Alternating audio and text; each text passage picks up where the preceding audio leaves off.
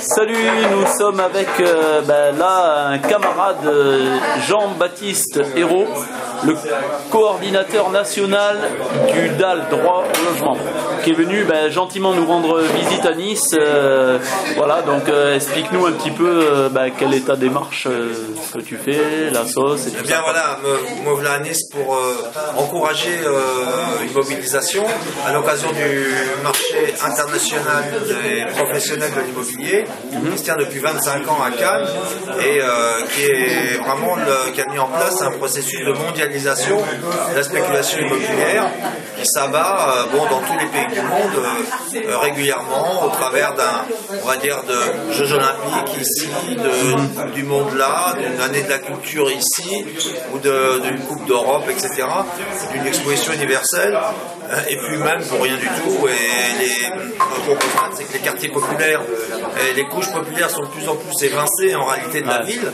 des centres-villes, du fait justement de la spéculation immobilière. Le MIPIM porte une lourde, lourde responsabilité sur le, développement de ces pratiques hein, euh, à l'échelon mondial. Et les collectivités territoriales, les États, hein, les communes euh, du monde entier viennent pour vendre des terrains promoteurs, pour mettre en place des projets culturels et autres, et qui vont avoir pour conséquence de faire monter les prix, qui vont permettre euh, euh, aux promoteurs de, de lancer leur programme, de gagner de l'argent. Les banques sont là aussi à ce marché et financent tout ça. Et résultat des courses, bah, les gens ont de plus en plus de mal à se loger ou consacrent une part de plus en plus importante de leurs revenus pour se loger, pour euh, remplir les poches de ces spéculateurs, de ces banquiers et euh, de ces milieux qui profitent en réalité et qui encouragent la cherté du logement. Puis quand survient une crise immobilière, c'est les États qui payent. C'est les habitants des pays qui vont payer et qui vont euh, éponger la crise, comme on l'a vu après la crise des subprimes aux États-Unis, qui, qui a été produite, provoquée par la baisse des prix, comme on l'a vu aussi en Espagne, avec euh, le- le- le- la, vague spéculative et, et la crise immobilière aujourd'hui, et sociale que traverse le pays. Donc, si vous voulez, en plus, c'est des prédateurs, il y a une forme de prédation qui se fait aux dépens des peuples euh, pour des petites minorités qui s'organisent au MIPIM à Cannes, donc entre le, euh, cette année, entre le 11 et le 15 mars à Cannes, donc euh, Palais des Congrès. Et donc nous allons modestement organiser une initiative. Euh, bon, euh, J'espère que nous serons quand même assez nombreux et pour commencer à dénoncer, à démontrer les mécanismes justement de ce, de, ce, de, ce, de cette violence, de cette brutalité sociale. Voulez, d'une certaine façon, on pourrait dire la planète n'est pas à vendre. Laissez-nous.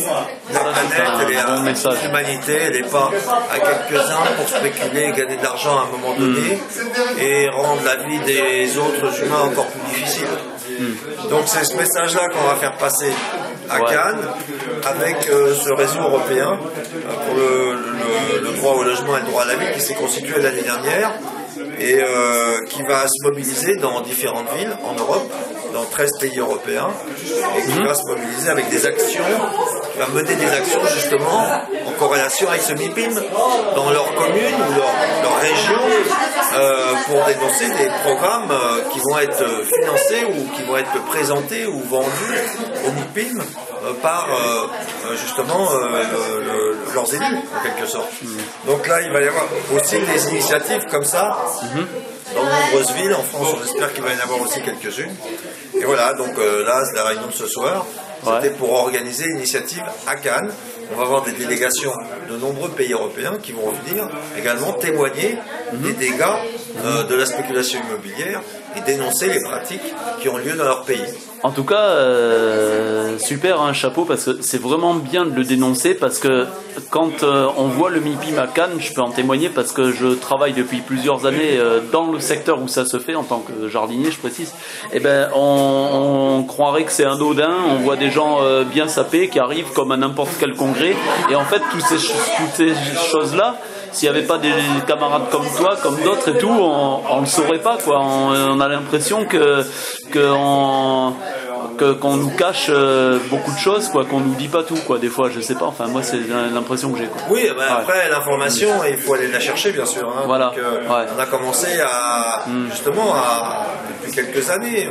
On se penche là-dessus en disant mais il faut absolument qu'on fasse quelque chose à cette occasion. Et comme il y a un réseau européen qui s'est construit, on leur a fait la proposition de lancer une initiative euh, tous ensemble.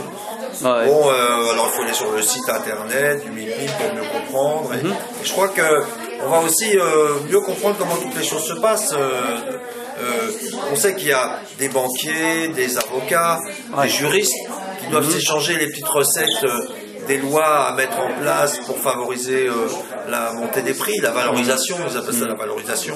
En réalité, c'est la spéculation. Ouais. Et comment faire monter les prix dans, une- dans, un, dans un endroit.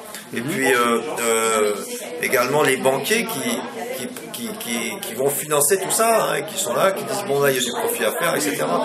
Mais je pense que ce qui est important, c'est maintenant de faire savoir ce qui se passe, le rôle que joue le MIPIM, cesser. le rôle que joue le MIPIM sur finalement une bonne partie de la planète, dans les grandes villes, hein, là où il y a la majorité de la population, et puis euh, euh, également euh, préparer peut-être des initiatives ultérieurement, les années d'après, parce qu'on commence modestement, mais on a quand même dans l'idée de d'amener euh, une régulation.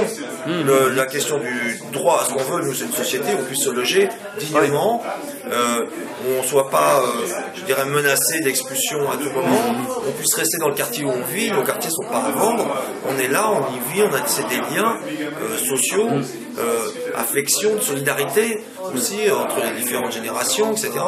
Donc ces quartiers doivent vivre, c'est des lieux importants où se sont construits des solidarités humaines que les promoteurs et que les banquiers détruisent à coups de bulldozer. Donc tout ça, ça doit cesser.